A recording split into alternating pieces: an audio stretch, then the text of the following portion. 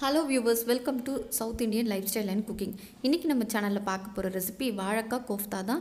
வாங்க எப்படி செய்யலான்னு பார்க்கலாம். அதுக்கு முன்னாடி நம்ம சேனலை சப்ஸ்கிரைப் பண்ணாதவங்க மறக்காமல் சப்ஸ்கிரைப் பண்ணுறங்க இது சாம்பார் சாதம் ரசம் சாதம் தயிர் சாதத்துக்குலாம் ஒரு நல்ல காம்பினேஷனாகவும் இருக்கும். ப்ளஸ் சப்பாத்தி தோசைக்கும் ஒரு நல்ல காம்பினேஷனாக இருக்கும். வாங்க எப்படி செய்யலான்னு பார்க்கலாம். நான் இன்றைக்கி ஒரு வாழைக்காவை ரெண்டாக கட் பண்ணி குக்கரில் ரெண்டு விசில் வச்சு வேக வச்சுக்கிறேன். இது ஆறின பிறகு எடுத்து நல்லா மேஷ் பண்ணி எடுத்துக்கோங்க. குக்கரை க்ளோஸ் பண்ணி ரெண்டு விசில் வச்சிடலாம். இது கூட ஆட் பண்ணுற இன்க்ரீடியன்ஸ் என்னென்னு பார்த்துக்கலாம். ஒரு வெங்காயம் கட் பண்ணி வச்சுருக்கேன். மூணு பச்சை மிளகா நறுக்கி வச்சுருக்கேன்.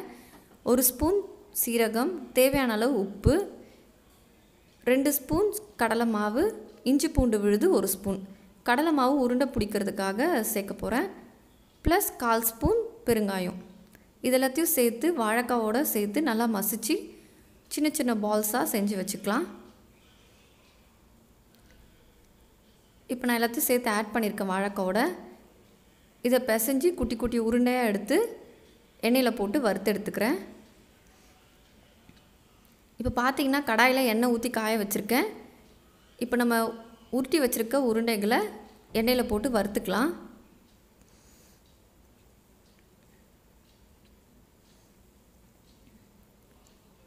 ஆல்ரெடி வாழைக்காய் வெந்திருக்கிறதுனால ஷாலோ ஃப்ரை பண்ணாலே போதும். டீப் ஃப்ரை பண்ணணும்னு அவசியம் இல்லை. அதனால தான் நான் கொஞ்சமாக எண்ணெய் ஊற்றிருக்கேன்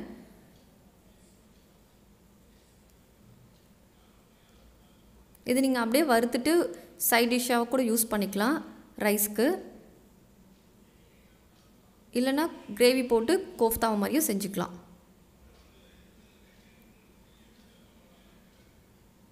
இப்போ எல்லா சைடும் இதை திருப்பி விட்டு நல்லா பொன்னிறமாக வறுத்து எடுத்துக்கோங்க. நான் ஃப்ரை பண்ணிட்டு எப்படி இருக்குன்னு காட்டுறேன். இப்போ பார்த்தீங்கன்னா நான் நல்லா பொன்னிறமாக வாழைக்காவை வறுத்து வச்சுருக்கேன். இப்போ இந்த கிரேவி செய்ய என்னென்ன இன்க்ரீடியன்ஸ் தேவைன்னு பார்த்துக்கலாம் ஒரு கடாயில் ஒரு குழிக்கரண்டி அளவு எண்ணெய் ஊற்றிக்கலாம் ஃபஸ்ட்டு இந்த மசாலா அரைச்சிக்கலாம் நம்ம. கட் பண்ணி வச்சுருக்க ஒரு வெங்காயத்தை ஆட் பண்ணிக்கிறேன்.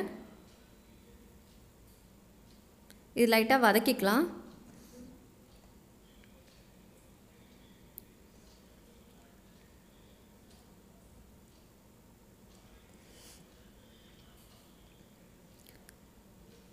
இப்போ வெங்காயம் நல்லா கலர் சேஞ்ச் ஆகிடுச்சு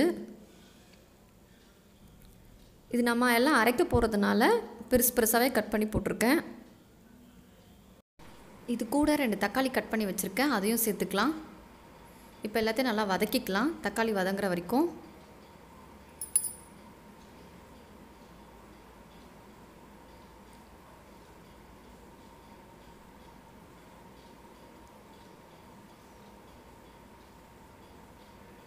இப்போ தக்காளி நல்லா வதங்கிடுச்சு.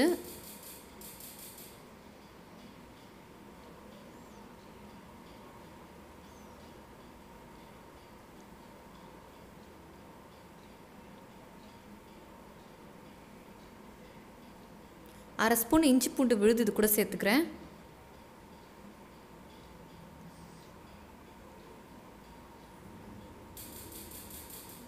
இஞ்சி பூண்டு விழுதோட பச்சை ஸ்மெல் போகிற வரைக்கும் நல்லா வதக்கிக்கோங்க.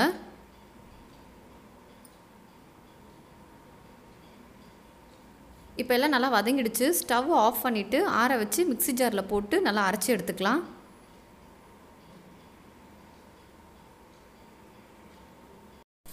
இப்போ இதெல்லாத்தையும் தாளிச்சிக்கலாம். ஏற்கனவே வறுத்து வச்ச வாழைக்காய் எண்ணெயிலேயே அரை ஸ்பூன் கடுகு அரை ஸ்பூன் சீரகம் சேர்த்துக்கலாம். இது நல்லா பொரிஞ்ச பிறகு ரெண்டு பச்சை மிளகாய் கீரி ஆட் பண்ணிக்கிறேன். இது ரெண்டுத்தையும் கொஞ்சம் நேரம் வதக்கிடலாம்.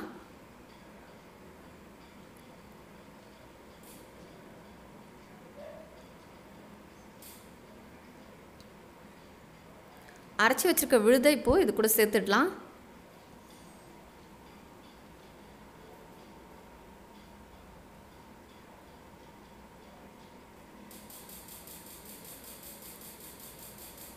எண்ணெயிலே கொஞ்ச நேரம் வதக்கிடுங்க.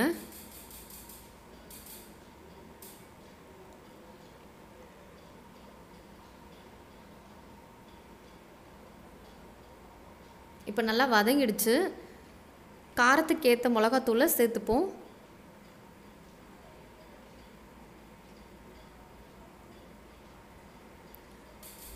நான் இன்றைக்கி நாலு ஸ்பூன் மிளகாத்தூள் சேர்த்துக்கிறேன். உங்களுக்கு காரத்துக்கு ஏற்ற மாதிரி ஆட் பண்ணிக்கோங்க.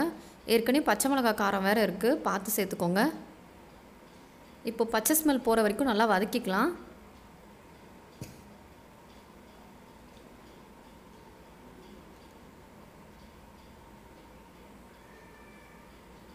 மிக்ஸி ஜாரில் கொஞ்சம் தண்ணி ஊற்றி கழுவி ஊற்றிடலாம்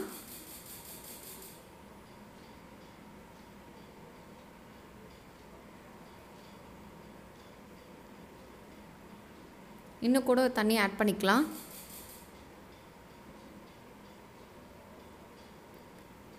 இப்போ இது நல்லா கொதி வரட்டும். மிளகாத்தூளை பச்சை ஸ்மெல் போகிற வரைக்கும் நல்லா கொதிக்கட்டும்.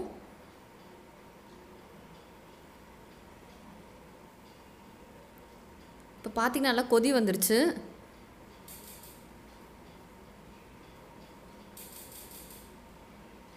கிரேவியும் நல்லா திக்காக வந்திருக்கு. பச்சை ஸ்மெல்லும் போயிடுச்சு மிளகாத்தூளோடது. இப்போ நம்ம வறுத்து வச்சுருக்க வாழைக்காய் கோலா உருண்டைங்களை இது கூட சேர்த்துடுவோம்.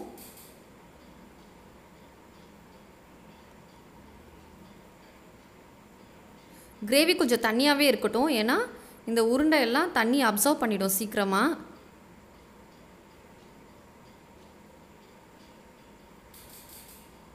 இதெல்லாம் கிரேவியோட கொஞ்ச நேரம் நல்லா கொதி வரட்டும்.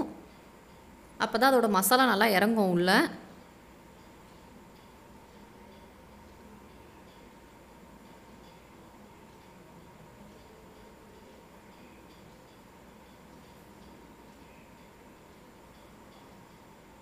இப்போ பார்த்திங்கன்னா நல்லா கொதி வந்துருச்சு. கிரேவியும் நல்லா திக்கான கன்சிஸ்டன்சி வந்துருச்சு.